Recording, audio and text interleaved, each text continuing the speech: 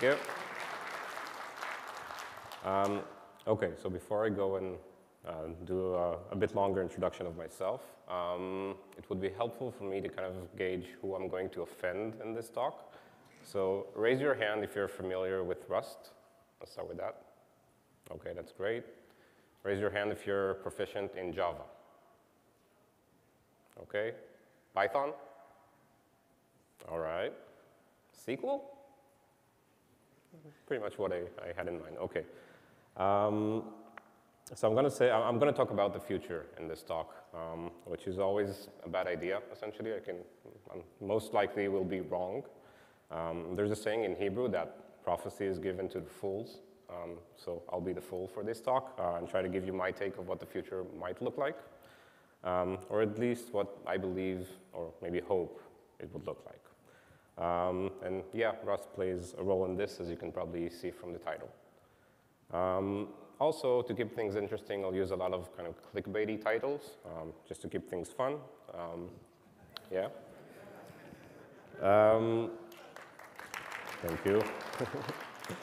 so my name is Oz Katz. I'm a CTO and one of the co-founders uh, for an open source project called LakeFS. Uh, for those of you who are not familiar with it, um, essentially imagine having Git running on top of your object store, right, at petabytes of data um, that you can roll back, commit, branch off of it. Uh, all the nice capabilities of Git, but on top of lots of data, essentially. Um, this puts me in a pretty unique point in like my perspective on the data landscape um, because we're kind of a basic infrastructure. We have a lot of the different compute engines and different systems that are running on top of either LakeFS or just the object store, so we get to see a lot of everything. Um, so this is kind of my very narrow perspective of the world, what it looks like today, and what I believe it might look like in the future. Um, so speaking of that, let's, before we talk about the future, maybe let's spend a few minutes talking about what it looks like nowadays uh, and I've gone ahead and I drew what I call kind of the modern data stack simplified. I'm assuming this is nothing new for a lot of you, right? You've seen images kind of similar to this in the past. Um, so just to walk through this kind of quickly, so on the left we have our organization's data stored in all kinds of different places. Um, I just noticed that I have CRM twice, so data duplications, that's common, we all know that. Um, so we have CRMs, ERPs, we have our operational databases, um, we have all these different inputs uh, that we want to be able to utilize and to get value from. Um, then we have, I called it ingest, which is a pretty bad name, but a set of technologies that allow us to take some of that input data, maybe other types of input data as well, um, and bring it into some place where we can process it, store it, analyze it, extract the value from it, right? That value could be a machine learning model, uh, an AI model, or it could be just a dashboard or a report of like how many sales did we make, right, if we look at those input sources. Um, another way to kind of look at this diagram, right, if I try to add kind of what this is actually all running on, so a lot of it is based on that technology that I just claimed is dead a second ago, so obviously it's not. Um, and I guess the second part would be based on Python, which most of you raised your hands when I asked if you're familiar with. Um, so to be a really good data engineers in the present, um, if we speak those two languages, that's already a very, very good start, right? We can't escape SQL, nor do we want to, honestly. Um, and to be a very, very good data engineer, uh, we also need, um, yeah. Um, so going back to my claim, why, why, am I saying that the JVM uh, is dead? So first of all, it's not really dead. It's never going to die. One of the reasons is Hadoop. Some of you might know this as that obscure set of XMLs that you have to configure somewhere when things break uh, when you're running Spark. Um, but Hadoop is probably here to stay as kind of a core infrastructure. Um, a lot of our different tools that we use nowadays are built on top of that layer, um, and it's kind of hard to escape. Um, so for that reason alone, like I see MapReduce in production in many organizations still, and that's a white paper from almost 20 years ago now. Um, so why am I claiming it's dead or that it's going to die?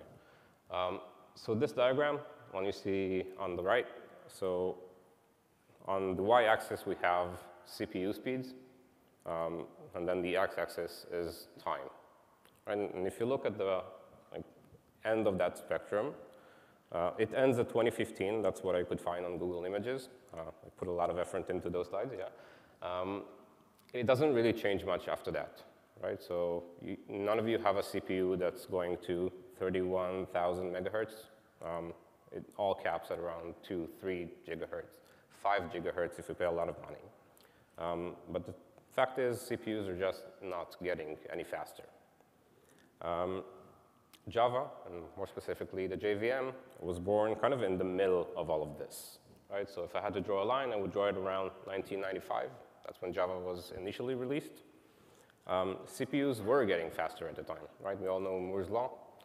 Um, if we had a performance issue, we had basically two options, right? Either we would uh, optimize and try to find the bottleneck, measure it, iterate, solve it, or we just waited a couple of years, right? And CPUs would just double their speeds and it would be fine. Um, but this is no longer the situation, right? CPUs are just not getting any faster. And that's been true for a long time. They are getting more efficient of what they can do with those limited cycles that we do have. Um, and I'll touch back on that in a few slides. Um, so we have Moore's law. That's one thing that's kind of working against the JVM now. Um, we also have that notorious thing called the class path, Raise your hand if you have battle stories around the class path misbehaving. Thank you. you guys are my friends. Um, so kind of the way to distribute a Java application is essentially shipping a bunch of jars, a JRE, and your application, right? It's a set of all these things. Um, if you remember the previous slide, um, you might also have a few XMLs in there as well. Um, but that's kind of what there was in 95, right? Um, no one was talking about microservices or things that are communicating across a network all that much. Um, that came later with SOAP and other profanities. Um, we had ClassPath, right? If we wanted to utilize existing code from some other place, the only way to do that was to include its jar, um, typically in another XML file, uh, POM.XML or whatever, um, and just ship this one giant set of jars as our application. Um, and the last thing, which does kind of touch back to Moore's law, um, is that Java is a garbage collected language. And with that, it does very efficient garbage collection nowadays. But garbage collection requires computation. And computation requires cycles of CPU. And we don't get many of those anymore, right? We're kind of capped on that. Um, so getting like top performance, extracting the most out of the CPU cycles that we do have becomes a challenge. Um, and if there are any Databricks employees in the audience, you can ask them about Photon, which is essentially rewriting uh, some of the parts of Spark um, with other languages that are not garbage collection and are not based on the JVM. Um, so yeah, it will never die, but on the other hand, maybe it's not something we want to build on for the future. Um, so I offended half of the audience. Now let's offend the other half. Um, so let's talk about Python for a second. Yeah, um, so Python. So Python is a really nice DSL on top of C.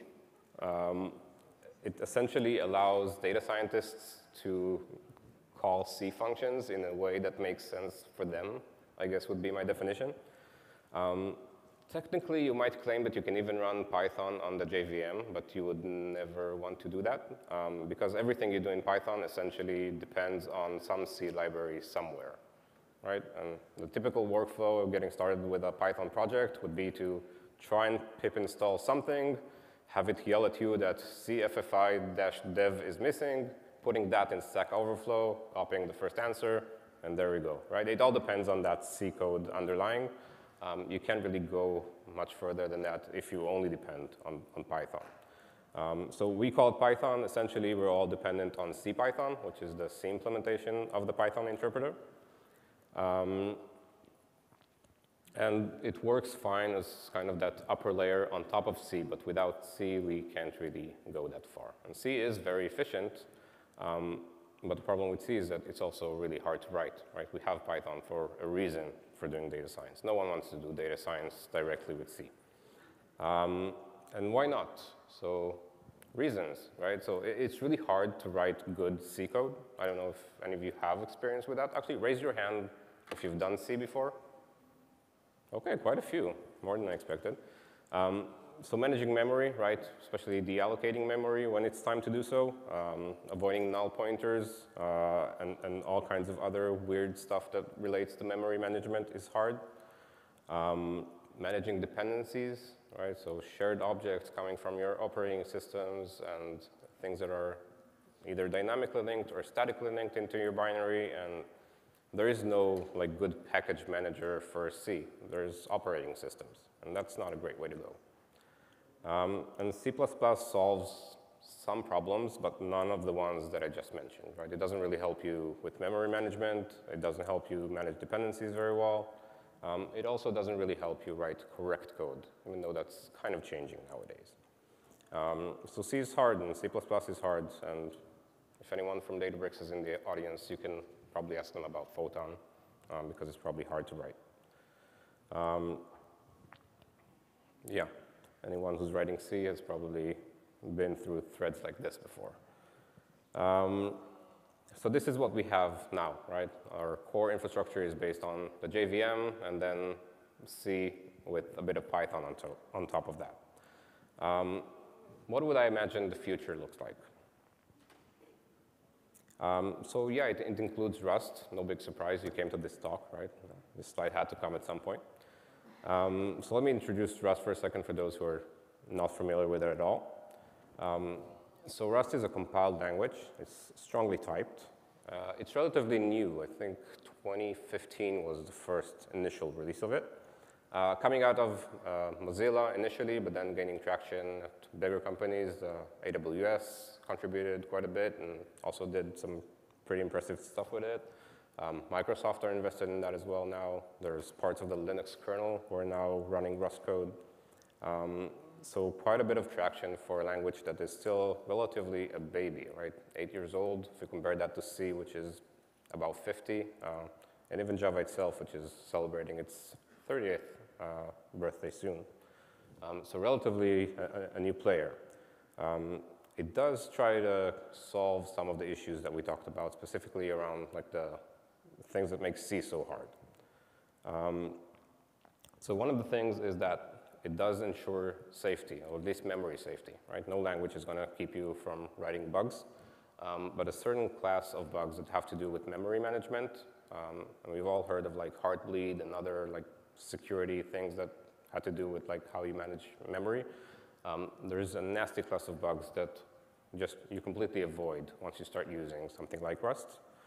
Um, and there is no VM, right? So unlike Java that has this layer of like trans, like, sorry, of a, a VM that has to translate every instruction into its own like architecture that it's running on top, um, Rust compiles directly to machine code that you can just run to an ELF on Linux or to whatever format uh, is suited to the operating system that it runs on.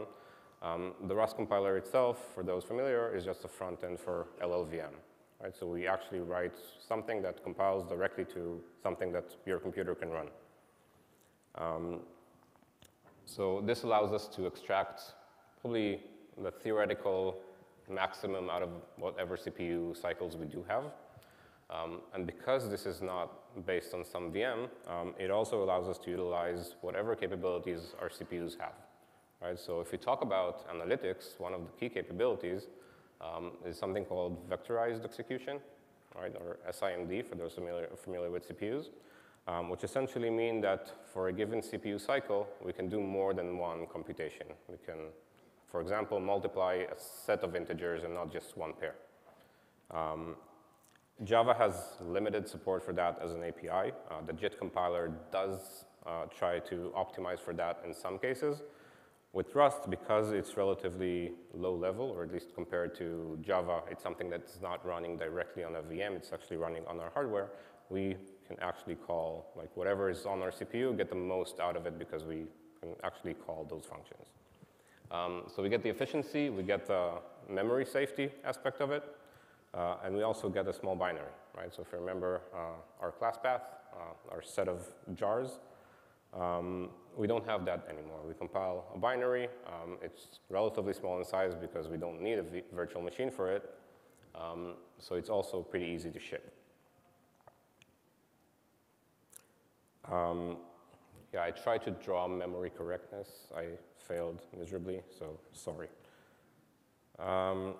Okay, another key element that is probably very important when we talk about analytics is Rust's ability to interoperate, right? So we know that, like from the Python example, um, systems usually don't run in isolation. Like they depend on other libraries to do some of the work.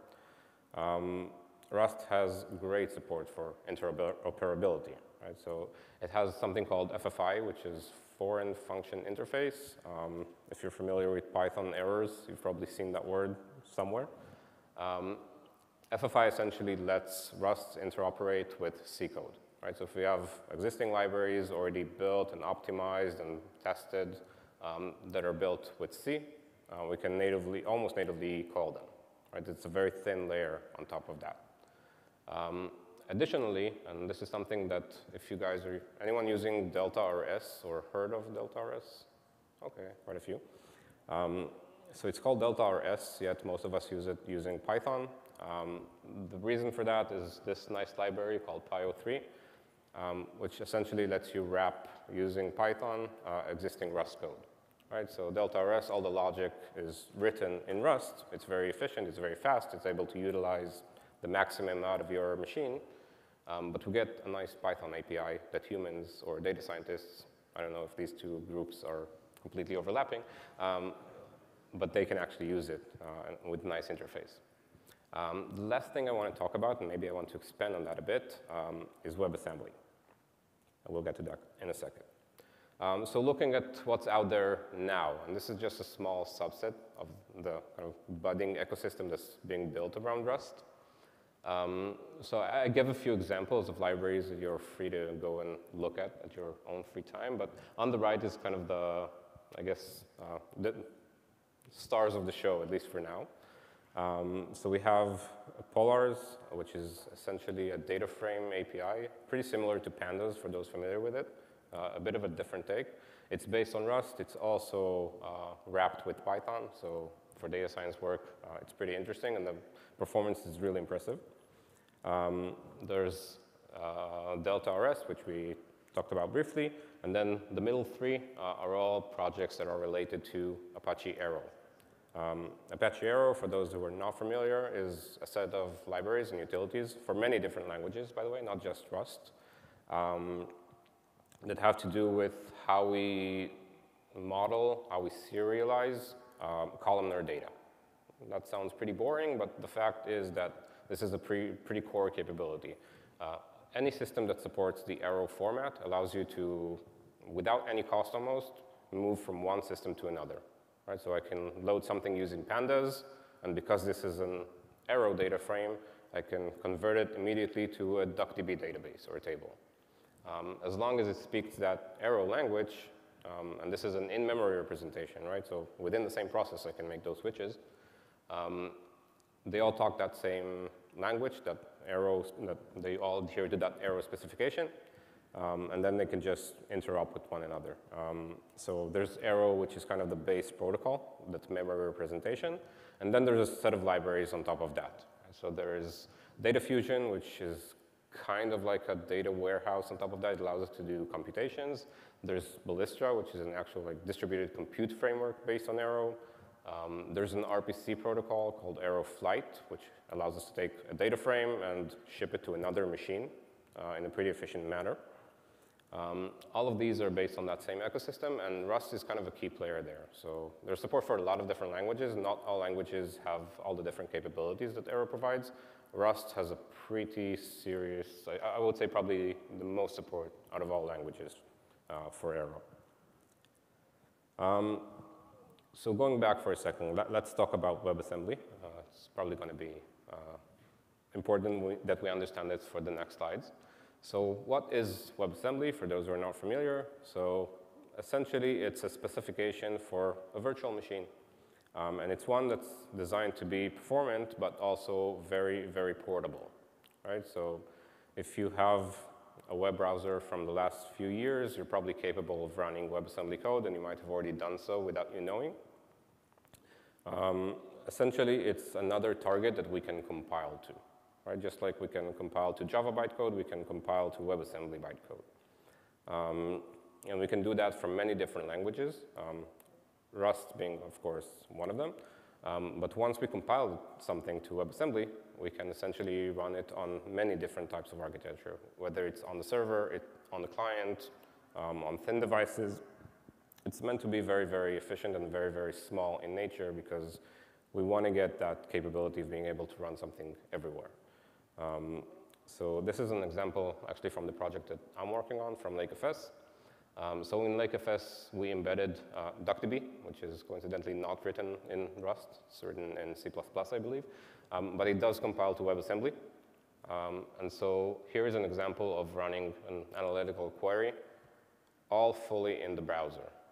Right? So all the compute that was used for, in this case, it's a very small, like simple query, but this could be multi-tables joining and like aggregations. And it would do so very efficiently using the CPU power that I have here on, on my machine, right? So nothing is actually executed on the server to satisfy this. Right? Imagine turning your browser into a data warehouse. And that's kind of the core strength of WebAssembly. Um, so for those of you who've been around long enough, this might sound familiar, right? The concept of being able to write something once and then execute it anywhere. Um, I actually found this screenshot. It took a bit of digging. So this is from the Java installer, I think probably around 97, maybe a bit later. Actually, it says Blu-ray, so much later, but it looks like it's really old. Um, so yeah, you can run Java anywhere on your Blu-ray disc player and your set-top box, which you all obviously have nowadays, uh, and even in your car. And I'm just trying to imagine a self-driving car doing a garbage collection pause for a few seconds. I don't know. Um, back to Rust. So um, we talked about WebAssembly and being the target that's meant to be very, very portable and very small. So Rust is actually a great fit for compiling to WebAssembly because there is no VM, right? We can probably get away with compiling Java code uh, to WebAssembly, but that would require also compiling the Java virtual machine to run on top of the WebAssembly virtual machine. I don't know if anyone tried that could be an interesting experiment, probably not going to work very well. Um, but Rust is very suitable for that. You get a very small binary um, that's running directly on your instruction set, in our case, WebAssembly. Um, and that example that I showed you in the LakeFS UI, it's probably only a couple of megabytes to load that binary for the browser. Um, and that kind of makes sense, right? I mean, that's something that I, as a user, can wait for and not see like a progress bar running for a long time. Um, so Rust enables that, and the fact that it is strongly typed and the fact that it does have a lot of the same kind of types and traits that compiled languages have makes it very relatively easy to compile to WebAssembly. Um, so yeah, we, we don't have the garbage collection pauses, right? So this maps wonderfully to thin clients and to things that are relatively like without that much CPU. Um, we don't have the runtime, so the deployment is very quick, right, whether it's on the server or on the client. Um, and we get that nice ecosystem that we saw before, right, with Apache Arrow and Polars and all the, those other nice systems that are already implemented on Rust. And we can have the same logic running from the beginning of our pipeline all the way to the client side as well, right, using the same tools, the same technologies, um, maybe actually fulfilling the dream of writing once and then running anywhere. Um, so bear with me as I try to imagine kind of the future data stack, the post-modern data stack. I don't know, I'm making up terms. Um, I would imagine something kind of like this. So ignore the fact that Red Panda's logo is very big. It's just because it's so cute and I like it. Um, so this is something that I would imagine. Okay, so try and think together with me. So we have on our left side all our operational systems, right? Um, I don't know if anyone had the opportunity or pleasure of trying to extract data from something like Salesforce. Um, I hear the laughs, okay. Um, it's not always that easy. Um, it's usually kind of tricky to get the data out of there. Um, it might change its schema from time to time and break things that are downstream from it. Um, what if we can run our logic directly inside Salesforce? Right? Only send me this data when a new opportunity arrives. Um, we could write it in a few lines of Rust or almost any other language that compiles to WebAssembly and just ship it to Salesforce and have them run that very small WebAssembly binary whenever there's a new opportunity in our Salesforce. Um, what if we could also do it on our operational database, right? So we all know like SQL triggers, right? On inserts, do blah, blah, blah in PL SQL or some other fun language. Um, what if we could just bring our own language, right? What if we could just write Rust or Python or whatever we want and have it just executed on the operational database? Probably on the replica, I hope. Um, but giving us the ability to actually control the, the, logic all the way back to the data source itself, right? And then we know we're only getting the data as we expected it to be um, into an ingest system that is also capable of that same thing, right? So in this case, it's Red Panda, which is a, of a streaming log abstraction, pretty similar to Kafka. I think that it's even API compatible with Kafka. And it actually, even today, allows you to inject a WebAssembly binary uh, to process incoming messages. Right, so I can write a small program to do stuff like validations, transformations, enrichment, um, in pretty much any language I would like. I just ship them a WASM binary, um, they load it up, and it starts running for every message, right? And I could even reuse some of the logic that I used in those original data sources, right? I can share code between all of these components because I'm free to bring whatever architecture and runtime that I want. Um, and then we have our processing and storage layer, uh, right, where we do the actual heavy lifting. We got all the data into our data lake or our lakehouse. Um, now we want to do something interesting with it. Uh, and this is where efficiency comes into play right? Here we want to be able to extract every small bit of CPU that we can. Um, so here you see a lot of crabs. That's the Rust logo, which is also pretty cute. Um, so imagine we have all these components, all of them being able to speak that language that we talked about, right, Arrow.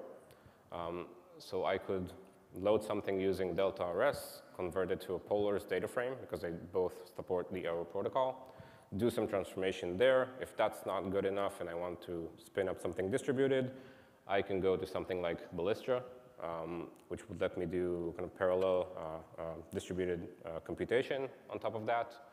Um, and then maybe one day also run WASM on top of Spark.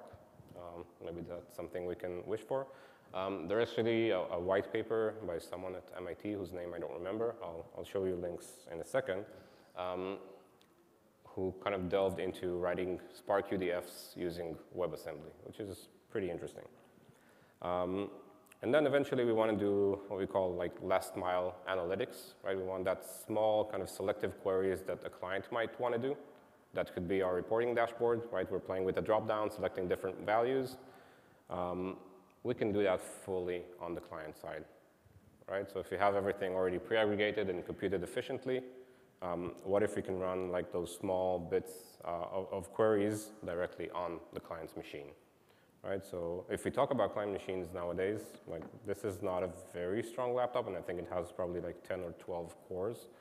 Um, we might not be getting faster CPUs, but we are getting more cores out of them, and we are able to do more per cycle. Um, so imagine having that last mile also be with WebAssembly. Um, maybe even with the same logic that we use for those transformation layers, being able to run directly on the client's machine. Um, I even foresee a future where we have not just data on our object stores, but actually a CDN in front of it. Right? So our Parquet files actually end up pretty close to the users, in which case we can actually do very interesting queries directly from the client side using these protocols. Um, and then, of course, I had to leave this. This is never going to go away. The JVM will die before Excel will.